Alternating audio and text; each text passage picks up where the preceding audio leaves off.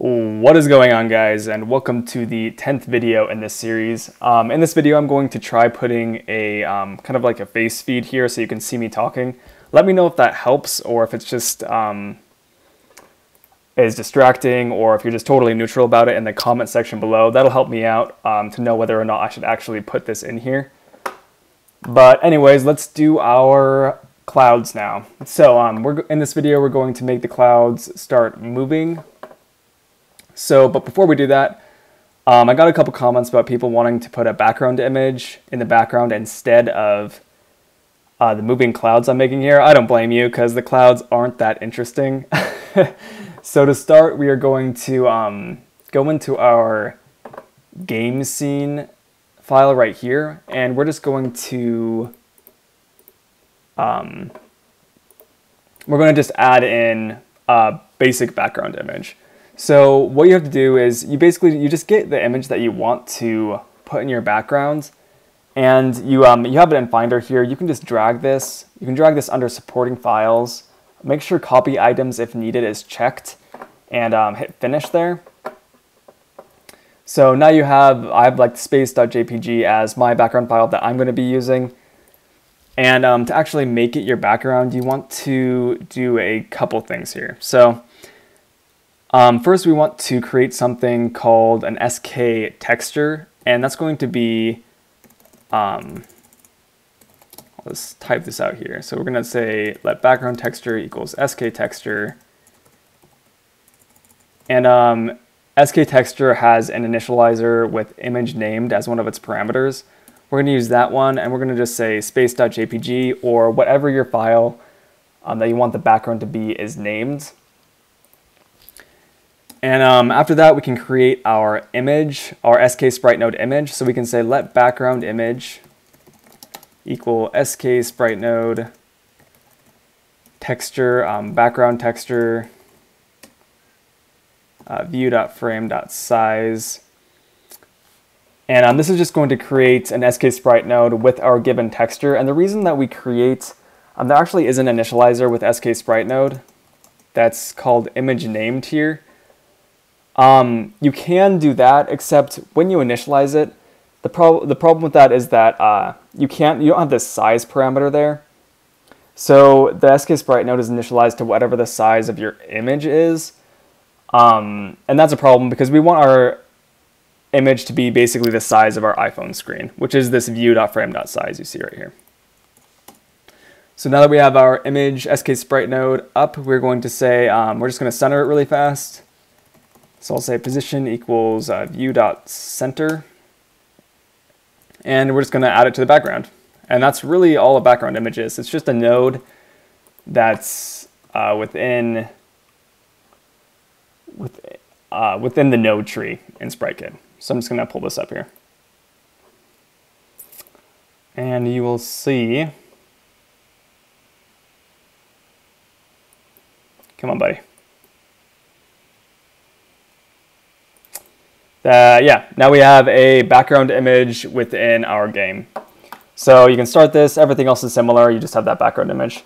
I'm actually going to remove this because um, in the original tutorial I was going to make it with the clouds moving across, so um, I'm going to, yeah, I'm going to do that. Anyways, if you guys want to do that, uh, you're more than welcome to, totally optional, but I thought I would just put this in here. So I'm just going to comment this out. So now to the actual main subject of this video. We are going to make the cloud start moving and generating. So let's go into our ML cloud class here. And uh, we're going to create a method and we're going to call this method uh, start moving. We're going to call the method start moving. and it's going to be a really simple method. Um, it's just going to be, we're going to use our SK action move left I'll say um, move by x, um, a value of minus 10, y value of 0, and a duration of 1 second. I usually just use 1 second when I'm using all these moving actions. It's just a really, it's like an easy standard to go by. And then we're going to do, we're going to repeat this action over and over again like we did with our moving ground node. So we're going to say run action um, sk action dot repeat action forever move left. So this should get that moving as soon as we call it. So um, actually when we initialize our clouds, we can just call this method, start moving, and then when our clouds are initialized, at least the, the clouds that um, we use to actually populate our scene are initialized, you're gonna see they're all going to be moving, just like that. So that's exactly what we want. And um, now we just need to get the generation happening because all, all we're doing at this point is populating the clouds in. We need to actually get them generating as your character moves along. So to do this, we are going to go into our ML cloud generator file and we are going to create a variable up here. It's going to be, um, we're going to call this generation timer. It's going to be of the type ns timer and we'll, we'll kind of cover, um, we'll cover some of the methods for ns timer here. Actually just one in particular.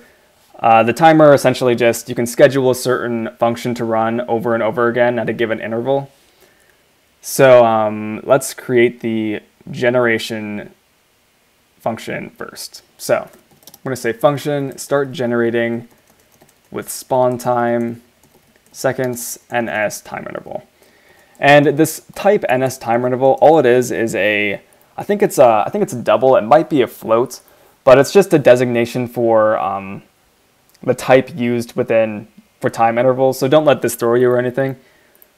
Um, all this method is going to do is it's going to generate a cloud with every single time within um, a given number of seconds. So if we say three in here, it's going to generate a new cloud every three seconds. So now we need to create the coordinates of our cloud that we're going to be creating. So I'm going to say let x equal size.width over 2 plus cloud width over 2. So um, remember that our cloud generator is going to be centered within our view. So we want to have the cloud generate on the right side of that, like just outside of the view. And so if we use size.width over 2, we kind of get we get to the um, side, but half the cloud is still showing. So we add that cloud width over 2 to kind of have it just at the edge of our of our view there. For um, the y value, we're going to be using that arc4 random function that we talked about. So um, I'm going to say arc4 random uniform casted to a UInt32 for size.height. And we're going to minus size.height over 2. And um, this is going to get us a random y value from the top to the bottom of the view um, at that point. So Perfect, let's create a cloud. So I'm gonna say let cloud equal ml cloud um, with the size of CG size make, cloud width, and cloud height here.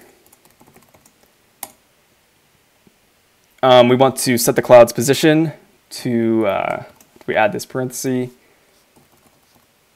to the uh, coordinate values that we just created. CG point make x, y. And we're going to add child cloud. Cool. So now we need to actually run this function. Since our, all our clouds are already moving when they're initialized, all we need to do is run this method to get the clouds to start generating. So let's go into our game scene file right here. Um, and I'm going to say cloud generator after the population method, start generating with spawn time. And um, I already put a good spawn time in here. Uh, I thought like five seconds was probably a good spawn time. You guys can change it however you want, kind of tweak it. But you'll notice now if we run this, it's going to do exactly what um, we are trying to do. So these are all the clouds right here that we just used to populate it. And this right here is a generated cloud. And um, five seconds after this comes along, you're going to notice that there's another cloud. As soon as we, um, if we wait, waiting for this other cloud, and something is going on here. So let's go back into um, oh wait, I didn't even, okay, huge mistake on my part. I didn't even like schedule the NS timer here. Uh, sorry, let's go into Yeah, this right here, this function I just made is the generate cloud method. Actually, I'll um, let me copy this. So all this function does is it generates a single cloud. Um, right here is where we actually need to start our timer. So remember we made this variable generation timer. I'm going to say generation timer equals ns timer dot scheduled timer with time interval. Make sure you use um, the one that says target and not invocation. And with time interval of seconds, target self, and the target is just the class that the selector we're going to be calling is in. And if that's kind of confusing, just wait a second, you'll understand it. For a selector, um, you can just put in generate cloud, and that's just the select the um, the name of the function that we want to call in the given num in the given time interval of seconds. User info, just put nil. Don't even worry about that, and put repeats to true. Okay, so let's run this, and uh, yeah, it should should be good this time. So you'll see um, the clouds going by that we just populated.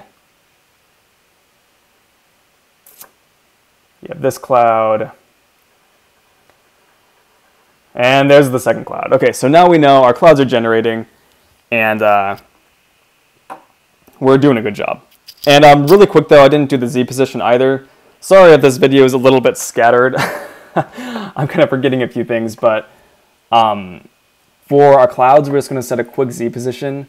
So when we generate our clouds, we want to say um, cloud.z position equals negative 1. And setting the z position to negative 1, like I was talking about in the end of the last video, um, I did it up here as well, just when I am creating any cloud. Um, all it's going to do is make the clouds go behind all of our other nodes because the z positions of every other node is 0, which is greater than negative 1. So um, that's it for this video. Sorry I was a little haphazard, but uh, I will get, um, I'll be more organized in the next one. And let me know if you guys like this video footage as well. That'll really help me out. So, see you in the next video.